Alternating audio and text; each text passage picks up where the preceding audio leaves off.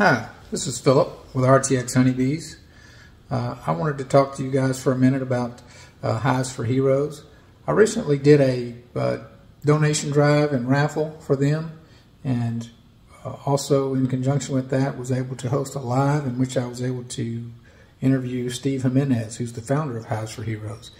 Anyway, that raffle and donation drive raised $703, uh, and but during that live, uh, uh, one of the viewers, Carl from Two Brats Bees, suggested that you know we could probably do something similar uh, at the North American Honeybee Expo.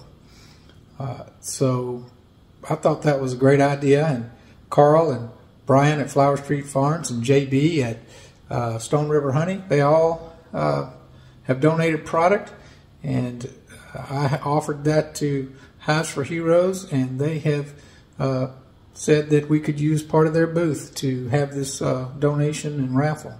So what I'm uh, talking to you guys about is if you have any product that you sell, honey, uh, any kind of lip balm, lip creams, candles, whatever, anything you can spare, if you could uh, bring it by the Hives for Heroes table there at the at the expo and drop it off, I'll organize it.